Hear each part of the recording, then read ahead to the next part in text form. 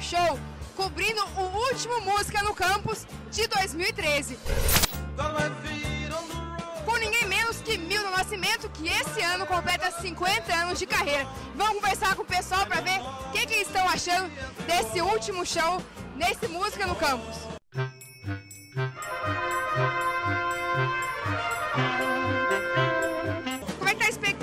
Que você acha no seu show? 50 anos de carreira do Milton Nascimento. Ah, eu acho que vai ser doido, né? Clube de esquina é da hora, né? São dois álbuns sensacionais. A Lu é sensacional. Quer dizer, Ela é maravilhosa. Milton e ela faz a sensação, é muito bom. quer dizer, Achando incrível, o Milton tá em Goiânia e, tipo, tá muito cheio, sabe?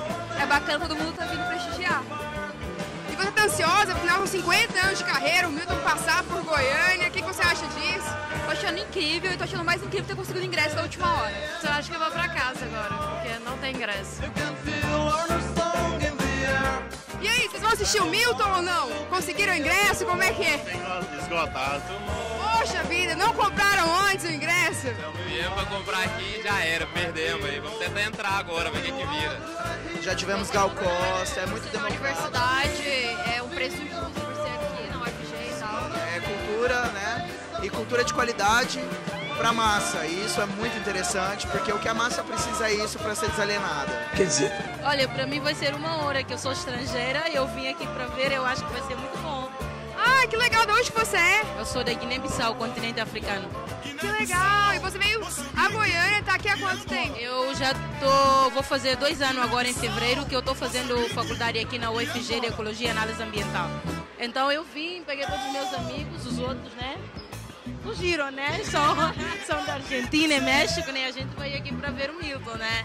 Eu acho que vai ser muito prazer, porque o povo fala que eles são muito bons, né? Então, acho que vai vir agora. Um ótimo show, vale muito a pena. E daqui a pouco a gente vai curtir também o Milton Nascimento aqui na UFG. Eles agora estão